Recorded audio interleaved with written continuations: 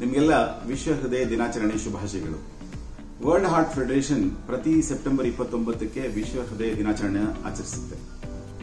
ಈ ವರ್ಷ ವಿಶ್ವ ಹೃದಯ ದಿನಾಚರಣೆಯ ಧ್ಯೇಯ ಏನಂದ್ರೆ use heart to reduce cardiovascular disease ಇದರ ಅರ್ಥ ಏನು ಅಂದ್ರೆ, ಈಗೆಲ್ಲ ನಾವು ಒಂದು ಸಂಕಷ್ಟದಲ್ಲಿ ಸಿಲುಕೊಂಡಿದ್ದೀವಿ ಕೋವಿಡ್ ಹತ್ತೊಂಬತ್ತು ಎಲ್ಲ ಕಡೆ ಹಬ್ಬಿ ಜನರಿಗೆ ವೈದ್ಯಕೀಯವಾಗಿಯೂ ಮತ್ತೆ ಆರ್ಥಿಕವಾಗಿ ಬಹಳ ತೊಂದರೆ ಕೊಡ್ತಾ ಇದೆ.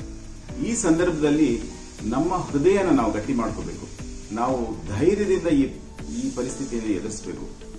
ಇಷ್ಟೇ ಅಲ್ಲದೆ ನಮ್ಮ ಹೃದಯ ಅಂದ್ರೆ ನಮ್ಮ ಕಂಪ್ಯಾಷನ್ ಅನ್ನೋದನ್ನ ನಮ್ಮ ಸುತ್ತಮುತ್ತಲಿನ ಜನಕ್ಕೆ ಹರಡಬೇಕು.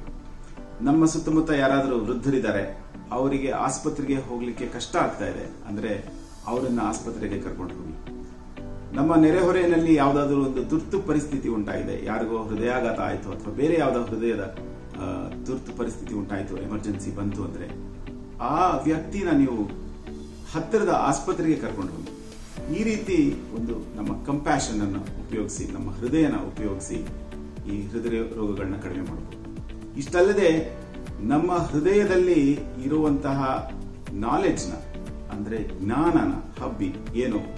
ಒಳ್ಳೆ ಆಹಾರ, ಒಳ್ಳೆ ವ್ಯಾಯಾಮ, ಈ ತಂಬಾಕು ಸೇವನೆ ಅಂತ ಕೆಟ್ಟ ಅಭ್ಯಾಸಗಳನ್ನ ಕಡಿಮೆ ಮಾಡೋದು, ಈ ರೀತಿ ನಾವು ಹೃದಯ ರೋಗಗಳನ್ನ ಕಡಿಮೆ ಮಾಡಬಹುದು ಅನ್ನೋ ಒಂದು ಜ್ಞಾನನ ಸುತ್ತಮುತ್ತ ಹರಡಿ.